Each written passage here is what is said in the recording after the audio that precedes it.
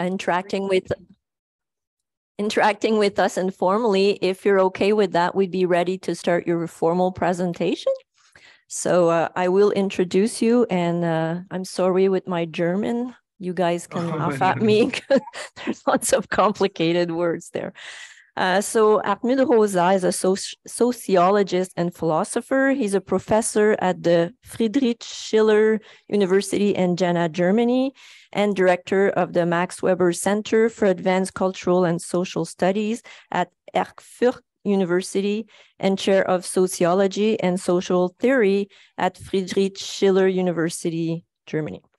He has been a visiting professor at the New School for Social Research in New York for 2001-2006 and at the Fondation Maison des Sciences de l'Homme, École des Hautes Études en Sciences Sociales in Paris.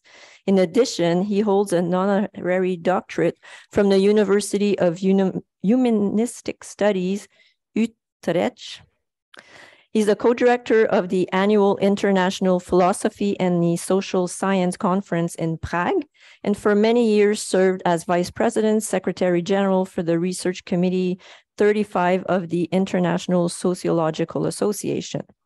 From 2008 to 2018, he co-edited the international journal Time and Society. He received numerous awards, among them the Tractatus Award and the oh boy. Paul, what? Thank you. Austria and the Erich Fromm Prize Germany of the annual Rob Rhodes Global um, Citizenship Education Award 2020 UCLA. His papers and books have been translated into more than 20 languages. Among his most important books are Aliénation and Accélération 2007, Social Acceleration, A New Theory of Modernity, Columbia Press 2013, Resonance, A Sociology of a Relationship to the World, Polis Polity Press 2019, and The Uncontrollability of the World, Polity Press 2020. In 2013, Professor Rosa was included by the Nouvel Observateur in the list of the 25 most important thinker worldwide. In the current list 2019 of Germany 500 most important intellectual published by Cicero magazine, he is ranked in the top 50 and among of the three most important social sciences and humanities scholar. So please join me in welcoming this amazing person. it's just the floor is yours. Thank you very much for this uh, kind introduction, and also uh, thanks a lot for inviting me to, to your uh, really exciting conference. Actually, when you asked, uh, I, I was determined to come, right?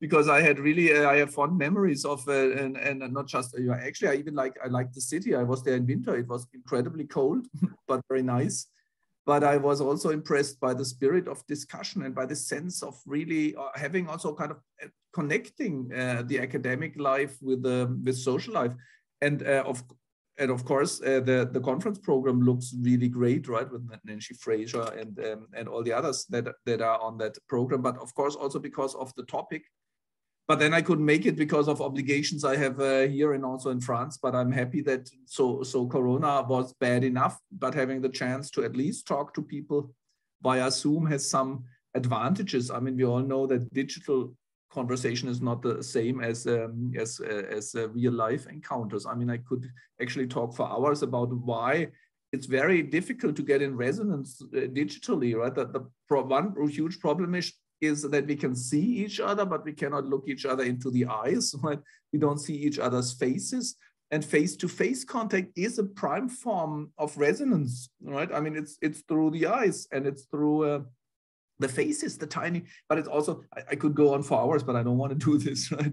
The physical interaction, it's even the way we hear each other, right? But also the sense that we share a space creates a kind of it's a kind of priming for resonance, right? I mean, you who are there right now in Ottawa, you know that other people have the same feeling of the temperature, the same smell in the air, the same sounds. And this physical co-presence already creates something like a kind of physical resonance, which you do not get if you do, you know, if if if if we do what I do right now, I also have a certain space around me with certain smells and colors and heat and so on or temperatures but I have to block them out because they are not relevant for you. So I would really say there we can really see how kind of forms of alienation or mute relationships enter the, the human realm and are part of the problem of this society. So, but now I've said enough about, I've lamented enough. I would actually like to share my screen with you because I've, well, I'm not so sure whether it's always a good idea. Maybe I'm, actually, I'm, I don't know. Yeah, I've prepared some PowerPoints, so let's let's use them. Um, you can can you see you can see my screen now, right? Yeah. Okay. So I wanted to uh, present something to you. I'm not sure. You know, I'm I mean I'm not sure whether it's a good idea, but uh, I think one has to um, be to to be courageous in uh, in uh, events like this. So I want to present a conception of what I call a listening society. Of course, this society should not just be listening, it should also be answering and interacting. But I really think, you know, I think there is a problem in our world that we always insist on everyone wants to have a voice. And I think that's completely right. That's the great promise of democracy that everyone should be given a voice. But in order for democracy to work, it also requires that everyone has ears. And I think actually, even in theory, we forget about the ear part, right? We always want to give people voice to struggle. All my colleagues talk all the time, particularly those on the left, of course, where I consider myself to myself to be. They always talk about social struggle, right, and fighting for our interests and so on. And, and but I think actually democracy only works if we also have ears, are receptive to other beliefs, other forms of living, loving, and so on. So, so that's a bit what I want to focus on. And uh, with this, I come up with a new, what I call a new conception of the common good. And I, I have no idea whether this is convincing or at least uh, inspiring or not. So you will tell me in the end, right? And uh, okay. So I want to uh, move in these uh, four steps. First, I kind of uh, I sum up what I've said quite a few times uh, what, where the problem is, right? You have uh, in your conference title, right? It's about the multiple crisis society in, in, in the many phase crisis, so to speak. I have a kind of, I will give you a summary of my take on this, but then I will really turn to politics. It's I, actually, I don't think that politics is my, my strongest point, right? But I think it is important, of course, it's important for what you try to do, and it's important for our society. And I want to, in our small informal discussion, I've hinted at it, I really want to come up with a, or suggest that we should reconceive, uh, reconceptualize politics and democracy. And of course, we should do this with the conception of resonance, which I will present in the third step, and then point out, sketch out what I think a listening society and, um, and connected to this a new approach to the common good could look like. So what is the problem of our society? Um, and I think, I've, you, know, we, we talked about it in 2019 already, but uh, not all of you, of course, were there, right? In my definition, the, the heart of a modern society, I mean, after all, I'm a sociologist, and sociologists kind of try to give structural in, interpretations of institutional realities, right? And my take, my claim is that we should insist on a on on on, on the sense of totality of society right? There are not just many societies. I don't i even think there are not just multiple modernities because there is something the different modernities uh, in the different spheres of the world and even in the different epochs from the 18th century onward. There are some features these societies have in common and and this is the main feature. I call it dynamic stabilization. And you see my definition. A society can be called modern when its mode of stabilization is dynamic. And this means that it systematically requires material growth, technological acceleration, and cultural innovation in order to reproduce its structure and to maintain the institutional status quo. This is in Canada as it is in Europe or in uh, in, the, in in the USA or actually in China, right? Even I mean, you look Liz Truss, Liz Truss, who is now uh, gone, right? Uh, she said uh, we want to, she wants to achieve growth, growth, growth. But actually, the German government, which even contains the Green Party, which is a very strong player, they say the same. They say we need to grow out of the crisis. Why do we need growth? I mean, think of what it means for Germany to grow, right? I mean, so we have some sectors of our industry need, which need to grow. Actually, all of them need to grow. So the strongest sector is the automobile industry. So ask green politicians, do you want to have more cars and trucks? And they would say, you are nuts. Of course, they don't want that. So the other, the fastest growing industry before Corona was the air traffic, airplanes. So ask our green politicians, do you want to have more airplanes? And they would say, oh, no, no, no, that's not a good idea. Okay, so no trucks, no, uh, but even the, the car industry, the truck industry, and the airplane industries, they all need to grow actually. But then the next big thing would be uh, construction. So should we build more houses?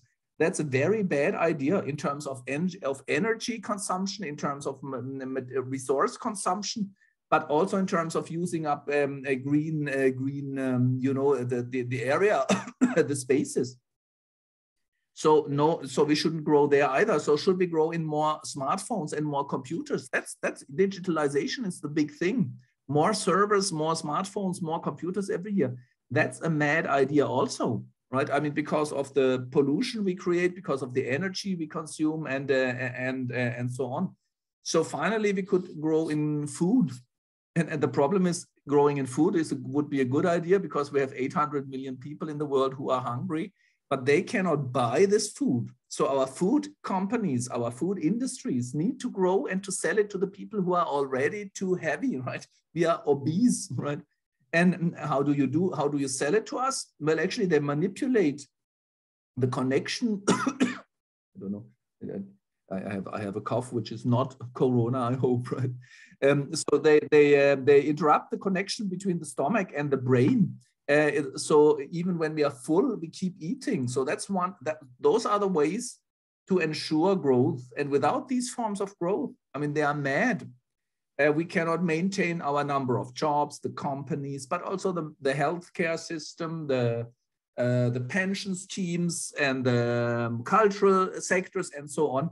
So this is what I mean, right? A modern society is structurally forced to grow, accelerate, and innovate just to maintain the institutional status quo. And as I've said, that's not a good idea, right? It basically means, and you know, I think what has changed, why we, why now the sense of crisis is so strong, is the fact that uh, now we no longer feel that we are moving forward by growing and accelerating and innovating, but we have to do it even in full knowledge that this will make our life actually it will destroy the planet, right? I mean, this is the this is the double squeeze, the ecological economic double squeeze. On the one hand, we have to run faster, accelerate, and innovate, even though this is mad. And on the other hand, we are kind of killing our ecological, uh, our planet at, uh, with this. I don't know what that is. So the, so the consequence of this uh, is what I call a mode of aggression. That uh, our dominant form of, you know, I'm concerned with our relationship to the world, our human relationship to the world, in, uh, individual and institutional. And my idea is that we are kind of living on a mode of aggression towards world. It's aggression towards nature when we extract everything from Mother Earth, so to speak, when we pollute it. But it's also aggression in the social realm, and you see it in the way we conduct politics. I find this very important. I mean, uh, Michael Bruter from London School of Economics has done an in, in, most interesting study in 27 democracies all over the world, where he says uh, what is changing is political culture, right? People perceive of each other as enemies, not as kind of people of a different political opinion, but as mortal enemies, like in the United States, where the liberals are ready to kill the Republicans basically, and the other way around. I mean, you know, it's not just that Trump, you know, it's you could see it with Trump versus Hillary Clinton. Of course, you can see it. It has not gotten any better. Uh, but Trump, uh, uh, Trump supporters shouted, "Lock her up!" They wanted to get rid of Clinton, silence her, don't even talk to her. But Clinton, Hillary Clinton, kind of uh, took revenge by claiming that the Republicans are a bucket of deplorables. But you see, this is kind of the political interaction. It's aggression. We hate each other, and of course, war is the most. Now, war is coming back. I think it's a consequence of a mode of aggression lived towards the world, and. Uh, the situation in the US, you could see in Britain, where the Brexiteers and the Remainers uh, encountered each other in a mode of aggression. And you could see it in Germany when those in favor of vaccination against COVID uh, and those against vaccination considered each other no longer, you know, no longer as kind of equals in a political debate, but mutually they conceived of each other as, as kind of people you can speak to because they are irrational, idiotic, fascist, and anti Semitic, whatever, on the one hand, or traitors and and and, um, and, and, and criminals on the other hand. And, and, and as I said, now war is the worst form of political aggression. Uh, but actually, aggression is even rising in the relationship towards ourselves. This I find really interesting, right? I mean, we, we like to think of ourselves as hedonistic, always looking for fun. But when you look at empirical data, you get quite a different picture, particularly young people. I mean, the mental health of young people all over the world, actually all over the world, but particularly over the Western world, but also in Asia, it's almost worse in China, South Korea, or Japan, right? But it's the same in the Canada, and actually I don't have data of Canada, but of the United States or Europe. Young people have kind of in a, a very disastrous state. And why? Because they are in a kind of aggression towards themselves. They have the feeling they don't look nice enough, they are too heavy, or they are not fast enough. And then they don't have enough friends and they don't and, and you know we even are aggressive against our own psyche. I cannot sleep good enough. I, I don't get um, um, um, active fast enough. I'm not mindful enough. I'm not sportive enough. I'm not creative enough the data really suggests that you know people don't feel at home with themselves they don't feel okay in their skins they're permanently i call it parametric optimization we, we have the idea that there are so many parameters of life the number of friends you have the number of uh, credit points you got the, the, the ranking of, uh, of your achievements, but also the number of friends, the likes, the followers, and so on. And then also the number of steps you take and the number, the hours you sleep, and so on. I call it parametric optimization. And this leads to a mode of aggression in the macrosphere of nature, in the mesosphere of political interaction, and in the microsphere of our dealing with ourselves, right? so I find it quite interesting in terms of energy, right? I mean, we are kind of, we, we it's quite interesting how we deal with energy. We permanently have to use, to extract more energy from nature, from ourselves, and from the political realm. And this leads to a burning up, to heating up of the atmosphere, to burning out of the um, of the individuals and to a kind of the, the will to burn each other up, to blow each other up, even in wars now, right? So it's there's alienation on all three levels of potential interaction, right? Our mode of being in the world, of relating to the world, is a mode of aggression in the social sphere, in the natural sphere, and in the in the in the, in, in the subjective sphere or the psychological sphere of relating to ourselves. And I think this actually might be one of the reasons why we perceive of politics as the realm of struggle and conflict. I really think from, I mean, I, I actually, I mean, you know, when you think of people who, who are very, I mean, they have a lot, they are very bright and they have a lot in favor of what they are saying, but nevertheless, people like Rancière or Badiou, or actually also Laclau and Mouffe and so on, they, I, I read them as saying that politics is essentially conflict and struggle, right? So what is politics? Well, politics is a sphere of irreconcilable conflict, of struggle, right? And of overcoming um, eh, or of kind of forming, trying to form a strategic hegemony, right?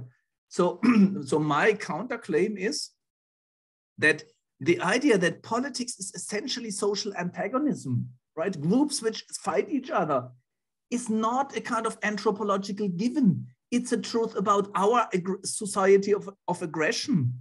But if we share this conception of politics, claiming that politics is aggression, is conflict, we will not overcome the problem. I know this is, a, I wonder whether you share this idea. Probably you don't. at, at, least a lot of people don't. But I think I will, I will show you my, my, basically what I want to say is that the way that the, so to speak, um, um, social ontology, right, what what the nature of the of the relationship of different social groups and individuals is is itself it's it's not given it's not anthropologically defined. It's a, it's a consequence of the political process itself right? Now but the problem is that the idea that politics is essentially conflict is advocated by the political right and by the political left but of course people like carl schmitt uh, would follow this right politics is defined by the friend foe or friend enemy distinction, right? So that's politics is about this, right? But when you come from a Marxist perspective or Rancière or Laclau Mouffe, then you get the same sense. It's irreconcilable conflict, right? So, uh, so, uh, or so you can be Darwinist or Marxist to end up with the same idea. Social ontology is so the, the social ontology is um, uh, social antagonism, right? And uh, actually, that so attempts at pacification are always met with suspicion, right? I mean, you, you, you I, I, had, I mean, I had some uh, quotes by German uh, by German authors, which I now did, which which I did not use today but the idea of Mar Oliver Marquardt, for example, he would really say that all pacification, the idea to somehow create a peaceful form of living together, right, is just a transitory, illusionary state of hegemonic uh, domination. Okay. so if you have this kind of image, then political action essentially is social struggle, and it's a struggle for power and domination. And my claim is that this conception of politics is exactly what is driving the modern capitalist form of uh, dynamic stabilization, right? Uh, it's itself, it's a consequence of the mode of aggression. So if you want to overcome the mode of aggression, we need another, a different conception of politics. okay, so I, have I've said this. I think I can I can leave it at this point, and let's move to the next point. Right now, I, I would really I, so so as I've already said, Uh, uh, in my view, uh, uh, we need a relational social ontology. To take that idea serious means that the form and the nature of citizens, or let's say, let's call them citizens, the form and the nature of citizens' mutual relations are not pre-given or predetermined. It's wrong to say they have to be antagonistic. They are not antagonistic by nature. Whether they are antagonistic or not depends on the social institutions, right? The, the ties are formed in the political process itself, right? So now I really wonder, you know, I, what could be a different conception of politics? And I must say, for me, it was always clear the, the prime, the, the cardinal, the, the core definition of politics is not struggle. For me, politics means shaping our shared world, right? Our common world. Of course, we live, we all and always live in societies or in shared forms of life. And no individual can define and uh, or, or, create forms of life. So it's a shared process, basically. But nevertheless, human beings shape human being. It doesn't have to be democratic, right? Politics means intentionally shaping the, the structures of the shared life world the institutions and the structures of the shared life world. That's politics. And of course, um, uh, politics can be done individually by a dictator. It's still politics. The dictator is shaping the structures and the institutions with the help of others, then, of course, right? So, and out of this shaping, the prevailing patterns of relation are uh, created. And now, what is democracy then? Democracy, for me, is at, at its core, at its heart, the idea that the shaping of the political world should be done collectively with everyone having a voice or the same voice uh, in this process right so at democracy's heart there's the promise of a political voice through which the body politic can be appropriated. So the idea is uh, the, the we live in a shared life world inevitably right? And this shared life world is politically shaped and not completely but to a large extent. And democracy is the promise that this shaping is, done is done by all of us, right? There is a kind of equalities. What, what, what makes citizens citizens is that they have an equal um, um, possibility to, to partake in this shaping. So if, we if you define politics this way, it's not necessarily and always and in nature antagonistic. okay, so uh, so in my my uh, my uh, in, in my take, right, uh, democratic politics is constituted by the idea that the body politics is shaped collectively, give everyone an equal voice. I already said that, but I have to insist again at also equal ears. Uh, it, it's not sufficient to have a voice, right? You have to be receptive. That's the core of resonance. I will come back to this in a second. I, I don't know. I should. I know I should not go forever, right? Uh, but but it's so so this leads of course to resonance and resonance requires that my voice is heard and inserted but i have to have ears through which i hear the others which then transforms our uh, um, which then transforms the people all of them right? So that's of course a republican conception of uh, politics right? And i think this is what creates the bond of solidarity the knowledge that the others have voices and ears too that I want to listen to them and they want to listen to me. And by, by doing this, we kind of, we, we permanently transform ourselves and the others. And I have to say that even I must, I find it frightening that even on the left, there are a lot of people. I recently talked to a gen, um, uh, gender activist, and I, I, I, I, said to her, yeah, I, I totally share your ideas, but I, but I feel that we somehow have to move a bit uh, somehow carefully or even slowly because otherwise the majority of people will go against us. And then she, she said, I don't care about the majority of people. I don't want to live outside my bubble, right? Of course, if you have that kind of take that you don't even, that you don't want to listen and talk to the others anymore, then I think then, then all hope is gone, right? so the listening society requires that citizens in the Republican sense are ready to let themselves be touched by the others, even if they don't share their views. I mean, that's the point, right? And if you if you only let yourself be touched by those who already share your uh, views and opinions, that's that's uh, that's not even politics. I would almost say, right? Of course, that does not mean that there are no conflicts of interests. There are antagonisms, antagonisms, and there are conflicts of value also, right? But the struggle does not necessarily be uh, antagonistic. And, you know, I think there is a huge difference whether we fight about something like I don't know, should we send weapons to the Ukraine or not? Is right now a fight in Germany, right? So of course we can struggle about this, and we might have different interests and different values, and we argue about it. But this does not pit us against each other. It's the third which is contested. We, we fight, we struggle about selling weapons or not, but it doesn't mean that, that I'm, I'm the antagonist of the other person or those who have a different opinion, right? It's about the, ex, that's what I call the external focus. The struggle should not be against the others, but it, but it, should always be for, uh, for certain substantive politics.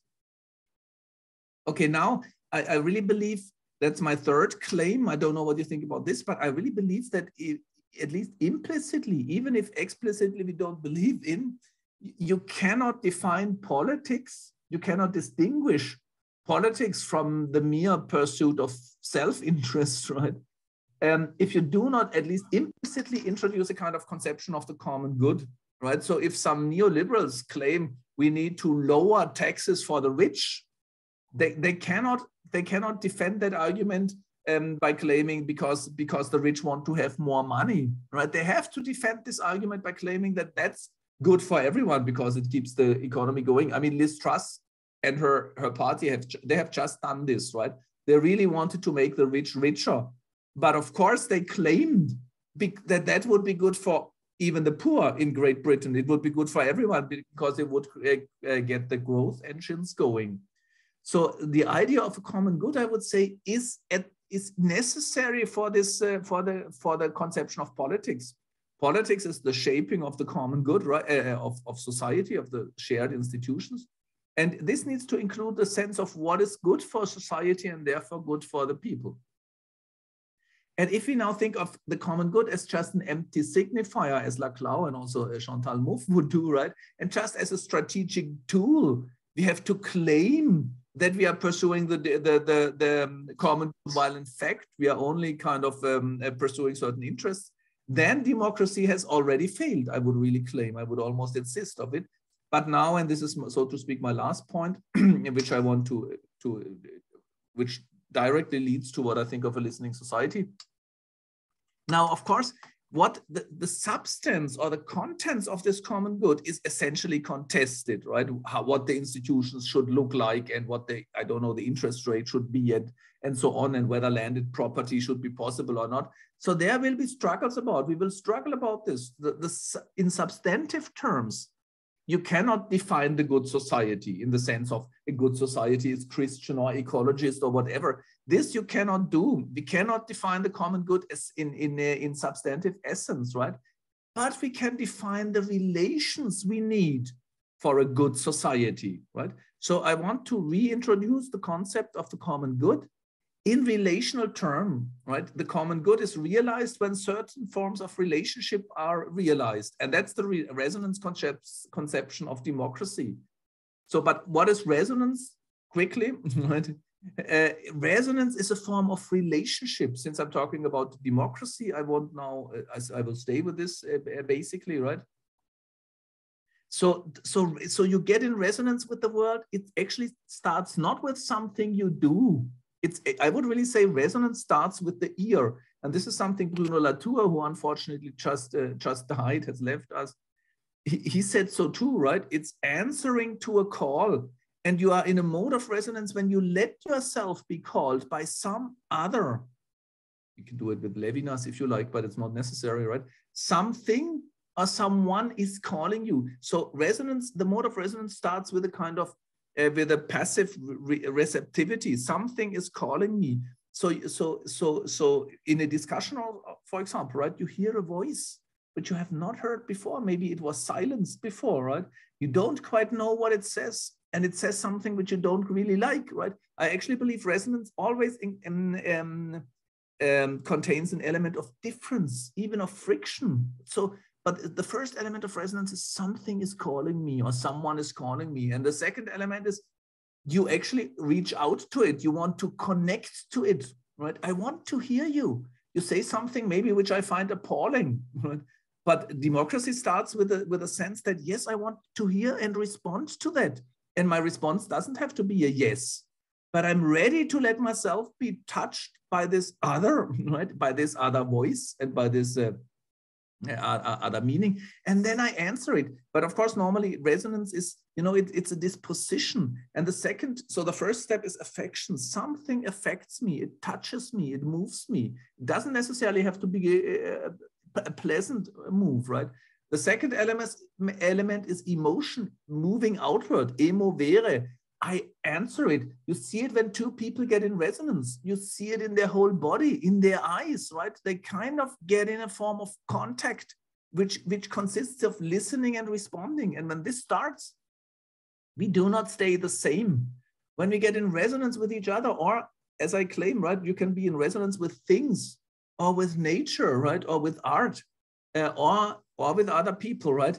Then there is always a transformation. Even in, in, a look, look in a conference like you're having right now, there are two possibilities. One is that you find it boring. Maybe right now you're already kind of doing something on your cell phone or so. We all do uh, very often, right?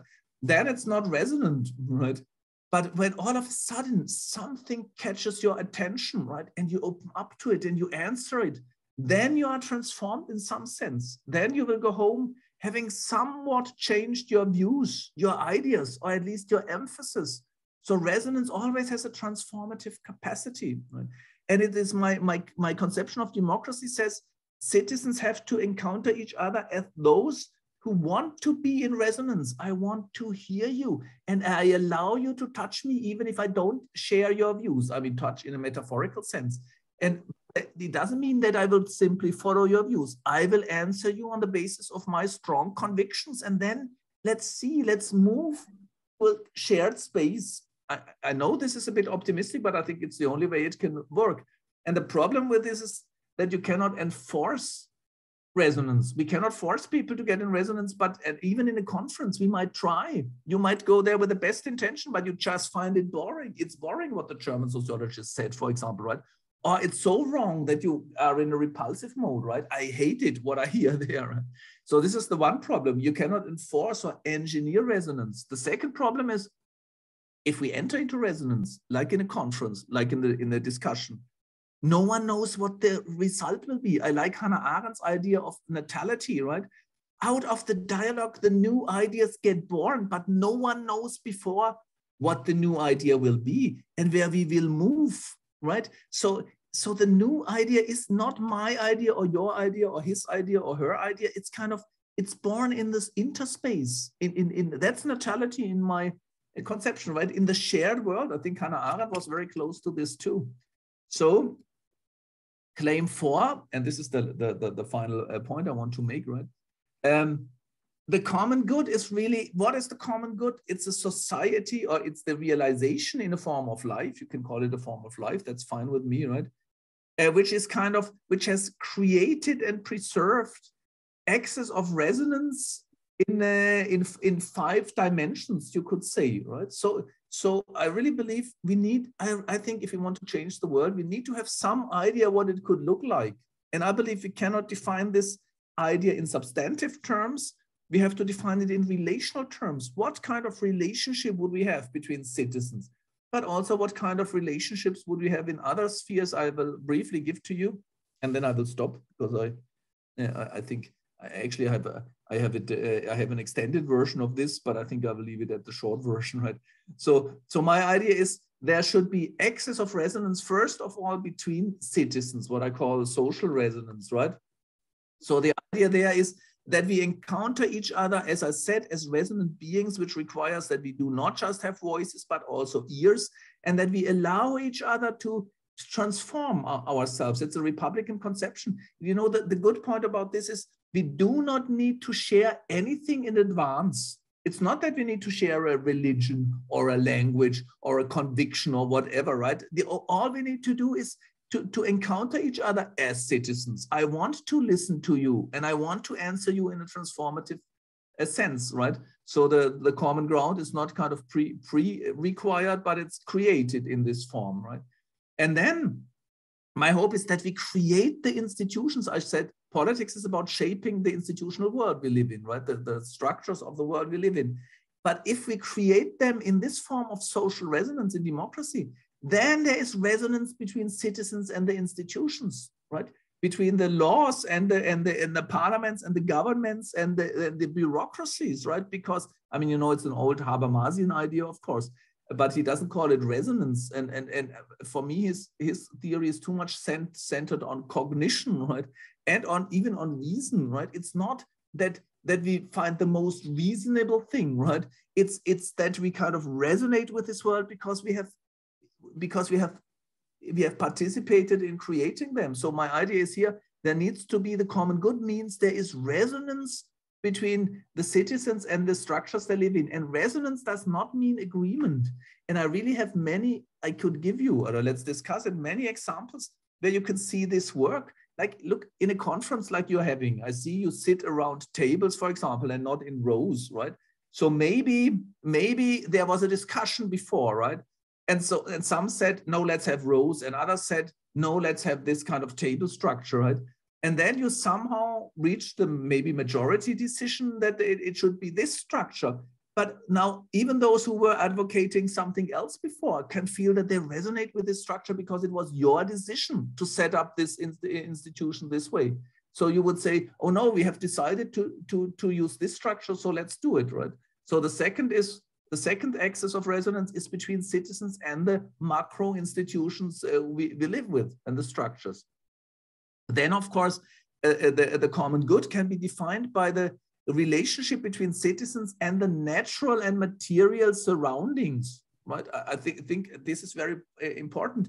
It's not just by the way it's not just nature so so so living nature around us it's also the built structure the architecture right being in resonance means listening and answering to the world around us. Of course, with, with respect to nature, it's very important. And there we do have a strong sense. Nature is not just the resources we, we, we, we need to protect and we use up. Nature is for, for human, for modern human beings in particular, nature is this sphere of resonance. This is why people say, I have to go to the ocean. Only there I can feel myself, or to the mountains, or even to the desert, for example. Or the Germans go to the forest, right? Only when I'm in the forest, I, I live in the Black Forest. there, there I can hear myself. It gives you this access of being in resonance with nature. And of course, we can institutionalize this. I'm, I'm pretty sure right now we have institutionalized an aggressive mode towards nature. And I think we can institutionalize a mode of resonance with nature it does not mean harmony. It does not mean that we always have to follow what nature, supposed nature, tells us. But we are in this mode, not in a mode of dominance and control and use, right? but in a mode of listening and answering. And what is most important, I believe we also need a kind of a sense of a historical resonance. This is very important. I think it's exactly what we have lost. We have lost, as and this is part of the huge crisis we're in we have lost the sense of a vibrant connection between past and future. You know, I mean, particularly in young people, we touched on it in, in the informal talk before, right? We have the feeling that we are alienated from the past. It's a colonial, imperialist, exploitative, racist past, right? So it's a kind of, we, we are now on the verge of kind of turning repulsive against our pa past. And we are almost, we are hopeless with respect to future. It will be bleak it will be governed by climate disaster and maybe now by war and by other forms of plague, right? so, so I, I really think the common good is realized where societies are capable of creating a resonant connection between past and future. And, you know, speaking as a German, you're quite aware that this does not mean affirm the past or the problematic aspects of the past. It means eh, listening and answering to historical experiences, right? Trying to make things better or to rectify or to restitute where it's possible, but also to say, oh, that's, that was wrong. Let's, I mean, for Germany, you would say never again the Holocaust, of course, or Auschwitz, right? But ne nevertheless, this might be a kind of existential call, I feel. I, I answer with everything I have and am to the, not just to this aspect, but also to this aspect. And this kind of obliges me or it points me a way of how I want the future to be. But apart from this political sense, I think it's very important that for people, you know, I mean, I would say all through modernities, modernity was really drawing its energetic force for the acceleration game, right? By the sense that parents said, we work as hard as we can, we struggle for our kids to have a better life. Right? This was an incredibly strong motivational idea that we kind of are connected to a resonant future. We create a better world for the next generation. So this, this gives you a kind of transhistorical sense where we come from and where we are going to. We are, we are part of an historical um, current running through us. And right now we are, we are in huge danger of losing it because now parents all over the world, in Japan as in South Korea or in the United States or Canada, say we have to work as hard as, as we can in order for our kids not to have a much worse life, right? Not to fall down the drain, but we know through our struggling, we deteriorate the prospects of the future generations in the ecological realm.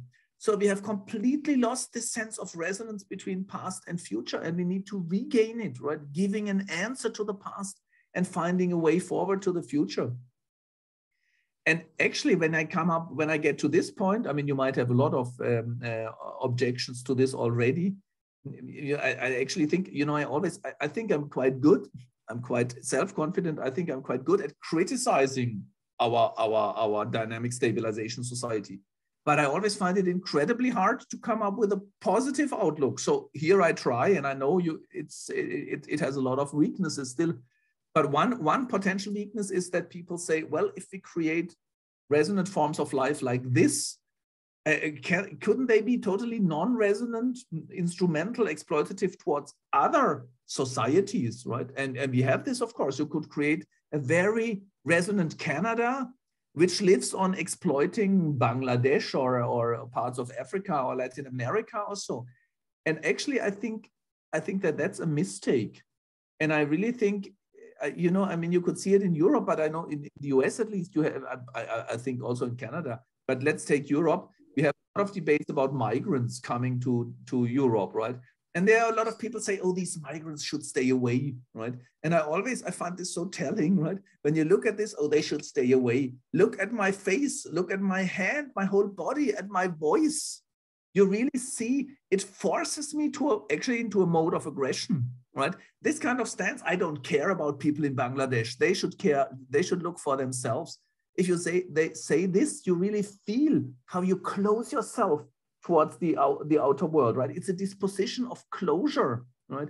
Resonance really means that you are that you let you let yourself be called and that you make yourself vulnerable. And therefore, I believe if we created if we created um, body politics which are resonant, they could not be non-resonant, non-listening, non-responsive towards other forms of lives, other forms of societies, those beyond the borders. They would need this element of responsivity, which is, involves a moment of care ethics in order to be to realize the common good along the other four axes at the inside. So I may, I, am sure I have not solved uh, the problems of the conference. It's just my feeble attempt, and I'm really looking forward to discussing this uh, with you a bit more. Thanks a lot for listening yeah, I, I don't know. I, I will simply stop this.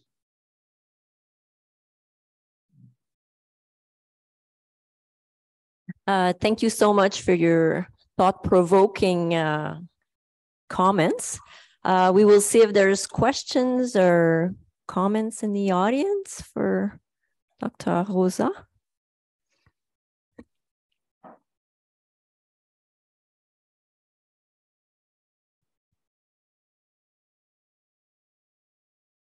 Hello. I don't know if you can see, but it's quite a long way. It's like the walk of, do I have something pertinent to say? Um, thank you for your participation. In fact, I am just finishing an article that dealt with resonance, solidarity, and Hannah Arendt. But as we discussed a little earlier this morning, academic life being what it is, it will probably only be published in a few years. And you've already quite responded to some of the question I was formulating, making it completely maybe useless.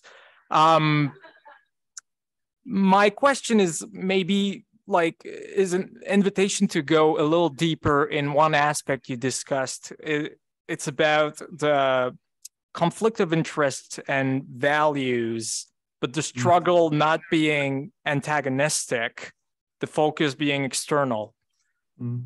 How like how I don't like how can I say the the it's really how that struggle being external is it only because it's not directed to a person or to an identity and only on a discursive matter that it becomes more acceptable and not antagonistic? That's i would really if you could discuss a little more on on that particular aspect yeah yeah i mean yeah i mean it's a good question because it's not so clear whether it works but i do think you know man if, for example if you even if you perceive of class struggle right I mean, you can perceive of it in two ways, of course. You could say as a as a proletarian. I mean, interestingly, I mean, all the academics I know always side with the proletarians because it's the idea that you're on the good side, right? So you could just as well say, I, as a good person, it's a bit like, I really think, you know, I'm, I really must say I'm concerned about this. I think in all the struggles I observe now, it's always like this.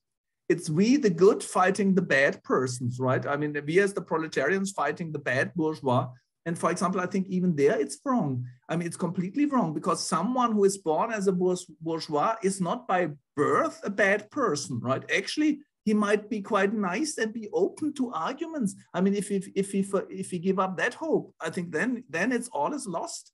And sometimes it seems to me as if people would say, since you are a I don't know, let's say you're a manager or so, you can only be a bad person. That's wrong, right? We can struggle about taxes or about whatever it is but not as persons. And I think, you know, it, it has turned a bit like this. People who are against vaccination in Germany are treated against like, don't even talk to them. They are not rational beings. They are like animals. It's like, and, and then in war, of course, it gets even worse, right? So that's why I think we might have really hard contests about whatever it is about about about property in uh, in production or so but, eh, but we should struggle about whether or not the, the company should be owned by the people or the house or whether land should be owned or not and not fight each other as persons. I, I believe conceptually it makes a difference and politically too. Thank you. Any other questions, Julie?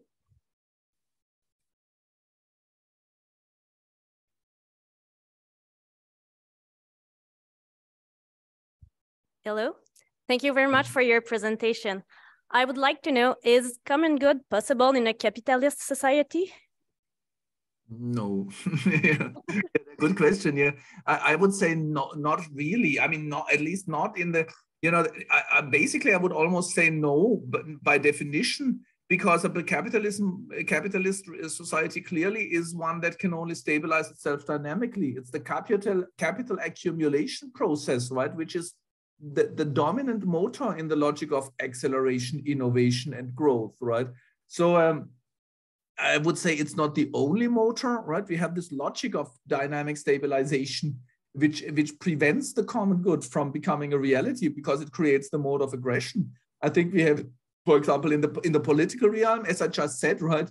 And there it doesn't necessarily require capitalism. And we even have it in the scientific world where the idea is that science is permanently about pushing borders and so on.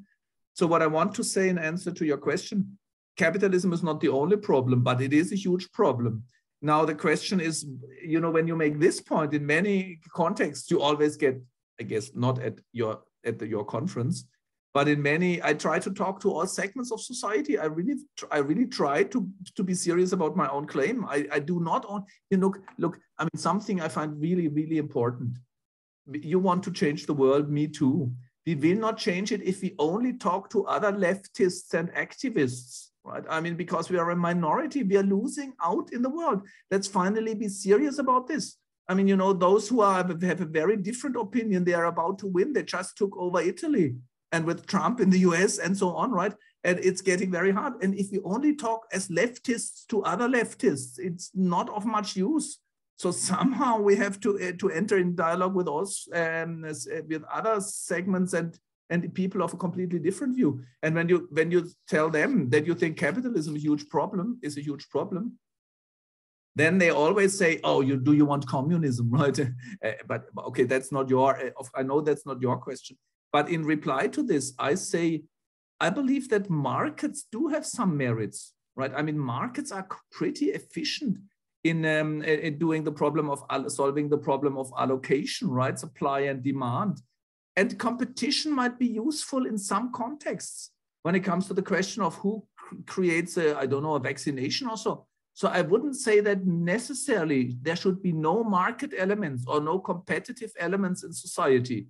But I definitely think this, these forms of markets and um, competition should need, need to be politically and even culturally controlled, right, and kind of contained and re-embedded in the sense maybe of Polanyi. So my answer to your question is certainly not the current form, uh, uh, the common good along those four, five axes will not be realized in the current form of capitalism, right? There might be some capitalist elements which are compatible, but I'm a bit skeptical about this, and, and those elements definitely have to be um, embedded and contained.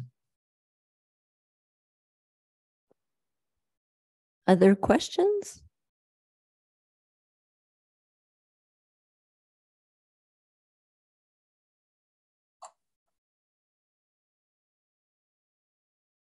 Hallo, ich ähm, wohne in Berlin, aber bin hier gerade, aber I'll speak in English. Um, thank you for this presentation. And I've read your work as well. And I've tried to read some in German and some in English and some in French. So it's interesting to get a bit of a different languages take on your mm-hmm. work. You are talking about common good, and common good has often been a way to speak about the will of a majority. And common good hasn't always really been able to take into account the fact that, um, so in a Canadian context, there are colonial relations inside the country. So, whose common good um, would we talk about? Or which is not you know a German reality per se, but um, if we think about minority interests in other contexts, you know, you gave the example of this gender activist, and I'm thinking from a feminist and queer perspective that mm, common good has often meant actually subjecting myself to heteronormative violence. So, mm. um, I, I wonder how you address this problem of common good from different perspectives and um, how that can actually just be a source of tremendous mm-hmm. violence. And I, in your call for us to listen to one another, um, I have really ambivalent feelings about that because I, on the one hand, think that you know there's no way that we're going to move forward in certain ways without a certain ability, um, sort of a rhetorical listening and not just a speaking process. Um, and at the same time, I am wondering who has to do the listening and how come some people seem to be able to forego that process of listening while others are constantly having to accommodate and think about how to speak and listen in the right way in order to be um, um, considered full human beings. And so, mm. I'm I'm I'm challenged. I'm sort of intrigued by your appeals, and at the same time, I wonder if actually you're falling also into the kind of Habermas trap of let's all just sit down together and we'll work it out. Mm. Um, so I'd love to hear yeah. your thoughts on that. Yeah, yeah. Thank you very much. I, I, think this is one. This is the kind of the hard the hard case, right? Uh, in, in point. Um, I think the problem with Habermas is really the, his idea is that we kind of sort it out by kind of you know, giving the, you know, since everyone should have a say in the end, we will hear, hear the pure voice of reason. And that is very, very different from what I have in mind. I don't want to filter out the pure voice of reason. I want to, I focus on the forms of relationship. And I think from the examples you gave and from your concerns, which I share, uh, but I actually, I, I, my feeling is that you actually made my points because you said uh, there is the problem of heteronormative violence, for example, and I would completely agree with you there, right? I mean, for example, in for for the most time, the common good did not include the perspective and the voices of women. Women did not have a voice, right? I mean, that's exactly the reality, right? But what I really want to do is a critique of the conditions of resonance. And you could immediately see why such a society dominated by heteronormative uh, um, um, um, structures, institutions, values, convictions, and practices, right? Is not is, is not a kind of a resonance, is not a space of resonance between citizens because people who are because women or, or people who are queer or gay or transgender or, or, or you know uh, all of the LGBTQIA plus right? They did not have they did not have a voice and a say. They were not included in this process. And the same is true for indigenous people. So I think this is exactly what I hope what my what my conception tries to aim at right? As soon as you have a group of people who is kind of silenced right? Or who is whose whose voice is not kind of not not taken serious and so on right? This is exactly why i want to criticize it. I think the problem with what you say the common good has always been defined i completely agree with that too. The common good has always been identified in certain groups interests but this is when you do it in substantive terms and say for example well the common good is realized when men marry women and are catholic or so right?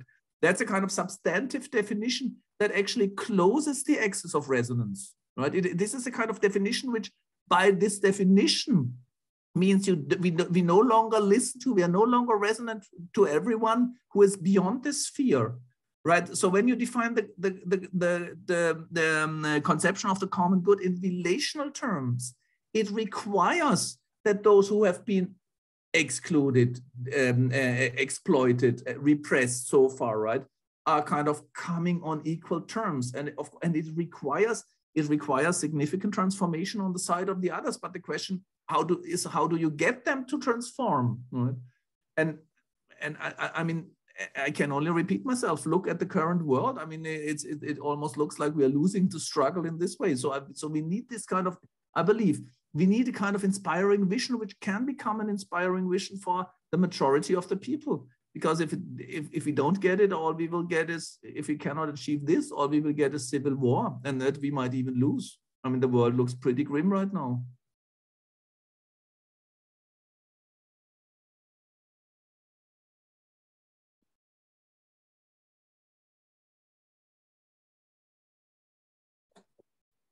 Hi there.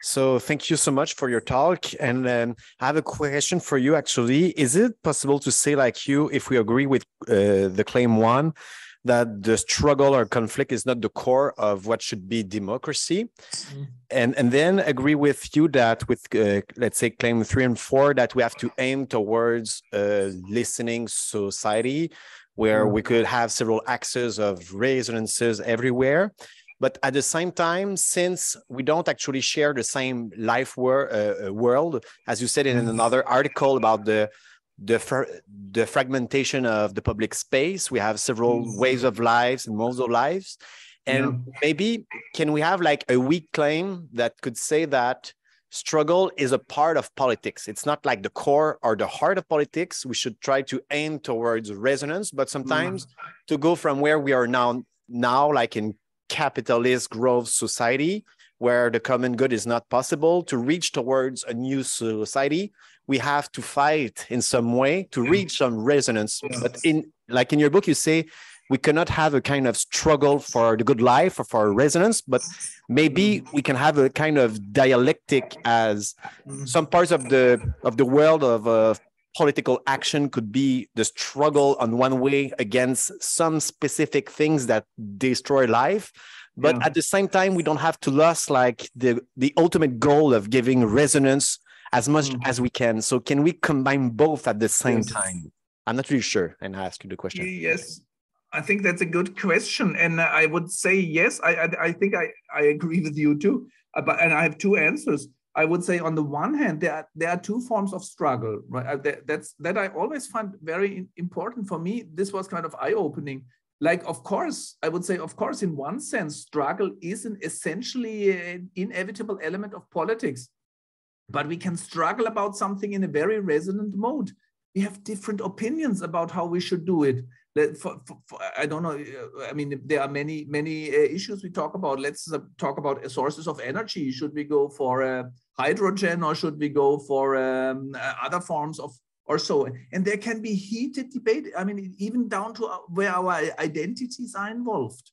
I have this opinion and you have another opinion. And we struggle. It's like with a friend.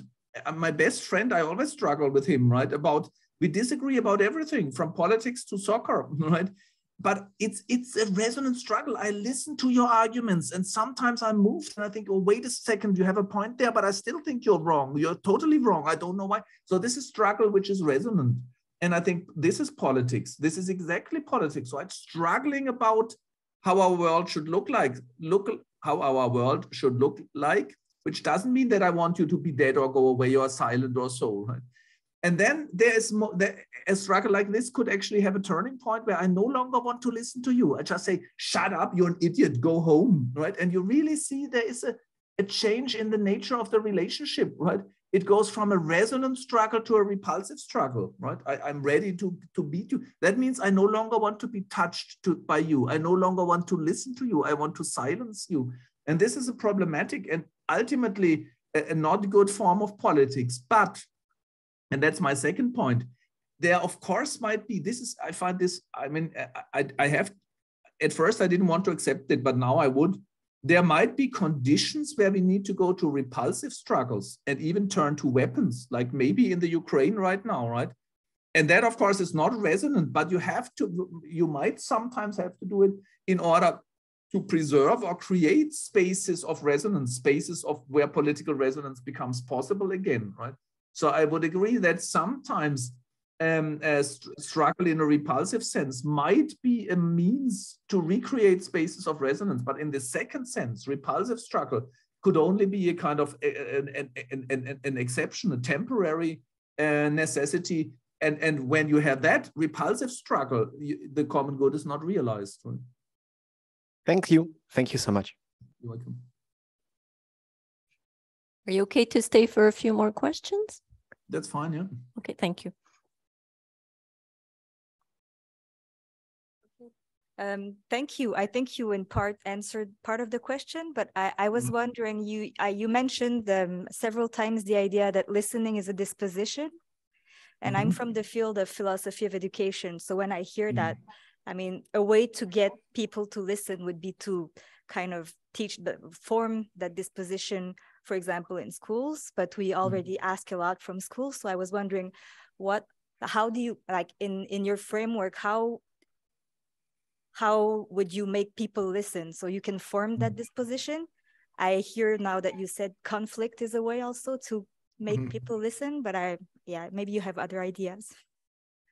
Yeah, thanks for this question. Actually, I mean, you know, education and the pedag pedagogy is really a huge I mean, this is one of the fields where I've really uh, where I try to concentrate on. I've just uh, I'm not actually I forgot. I think the, the, book is not out in English yet, which is a pity because there's a number of books in German which are on the pedagogy of resonance.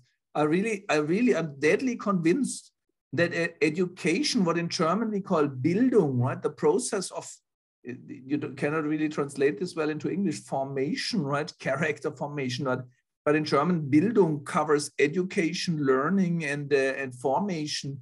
And this this this actually, I, I mean, this essentially is a process of resonance, right? Listening to something new, try feeling self-efficacy in answering. But By the way, I mean, the second element of resonance is I sometimes use the term, or not sometimes, I, I use the term self-efficacy for this. So this is important for politics, of course, too. People need to be affected, to let themselves be affected, which actually means, means, you know, you talk about the disposition and the disposition means that you make yourself vulnerable because it means you open up to, you let yourself be touched by something which you cannot completely control. So it's a, it's a risky process and it requires conditions of trust where you can allow this to happen. But, but Bildung in this sense, education in this sense, is a process of resonance, being touched by new ideas, by new concepts, by new practices, trying to feel, to answer them by feeling self-efficacy and being transformed. Education in this sense of Bildung always transforms the subject. So, and, and there, and you can really see there are differences. In Germany, we talk about evidence-based conceptions of education they actually lose all sense of resonance, right? For them, education is just transferring skills to people, right? And that, that, that creates, that's good for the mode of aggression, right? But I would really think, I would, I would say that education in a qualified sense is, on the one hand, it's a process of resonance itself, but on the second hand, it is really, it, it is really enabling the disposition towards resonance along the, actually, I just talked about this in, in another conference. What is the sense of what should schools do? I would really say trying to, to, to enable subjects to um, develop those axes of resonance in all spheres, on the one hand, towards other human beings, list, listening and responding to those others, whoever they are, right? And it, whoever they are, but also listening and responding to the material world and to the to the uh, what I call the existential sphere of nature or the universe or life itself and being in resonance with themselves. This is very important. I mean, as I said in the beginning, we are in a mode of aggression towards ourselves, and particularly young people are. Being in resonance with themselves means listening and answering to your body, to your psyche, to your dreams, to your memories. And it doesn't just mean accepting them, but being in, an, in a process of uh, interaction. So I believe education really can be conducive to, should be conducive to creating this disposition of listening and responding. But we will not do it in schools which are geared for credit points and transferring skills. Any other questions? I might have one and then we can close since there's no one else. Um, to get back on the uh, the idea of um, the listening society. And we talked about people who might not have a voice or who are absent from the discussion in a listening society. My question to you is those people who don't have a voice might be tired of listening to us. We're not listening to them. And how can we listen if they are not at the table or we don't want to hear them? So, in this idea of resonance, how do we have a dialogue when they probably feel that they've listened to us quite a lot? Yeah, yeah yes I, definitely. But you know i really no i mean i'm i'm really i have strong conviction there. I mean what you describe is kind of I, I, think in the way you asked it's more focused on groups which have been always kind of silenced right or neglected or not seen and so on but let's start with individuals. I think you, you, you have sometimes, you know, unfortunately, this society also creates individual positions, right? Where people have the feeling no one, you know, I always have to struggle. No one wants to, you know, solitude. People are, a lot of people are told terribly alone. There is a ministry of loneliness in Great Britain now, right? This is exactly the situation where people feel no one wants to listen to me, right? Or no one listens to me. My voice is completely lost in the universe, right? So, so what? So I think there is this yearning that someone listens, and then you make the experience of self-efficacy. I can reach out. I have the capacity to reach out and connect and get this process of listening and responding started. And therefore, I think for groups which are neglected and which have not been listened to, right, the same process could work, right? That finally they realize oh, now it's no longer kind of instrumental or paternalistic or whatever, or straightforwardly exploitative relationship. But if, if, if, I mean, I consider myself to be in a privileged majority position, right? But I, but I hope that if finally we get ourselves into a real mode of listening, not this kind of paternalistic attitude of I will teach or we will graciously listen to you, but in a kind of, you know, resonance is a hum, it's a it's a humble stance, right? That that you really open up, and then I think because you know this tiredness mm, probably will disappear because then those who have never been listened to will get the experience that they really that their voice will be heard. It, they will feel self-efficacy. And this will change the whole footing the situation of those involved. And i think that's what we need particularly the minorities. Uh, but the majorities need it also. I mean Um, they get this process started of really listening and responding and it's not a utopian you know it's i think it's not a utopian fancy because this mode of resonance, I believe, is the basic human form of being in the world and being to the world. If you if you do child in infant studies, child psychology, you can really see that small children, infants, sucklings, right, when they they try to get in contact with the world, and the getting in contact with the world is not through language or through um, uh, reason and it's not a possessive form. They don't start to want to have things. They want to get in resonance with them. And it's true that what doctors told me after i had written that when we lose our capacity for reason and our capacity for um, for language and our possessive our property we are still resonant beings right this sense of getting in resonance with other human beings, I believe, is the basic form of. Eh, you don't even have to learn it. You can dislearn it. And those who have never been listened to, they have kind of dislearned it. They are so deeply alienated for, for structural reasons that this process might be forgotten. But but all we can do, and we have the, I think we have the duty and the obligation to get this process uh, going again. Well, thank you so much for spending your Friday evening with us. it's pretty late in Germany.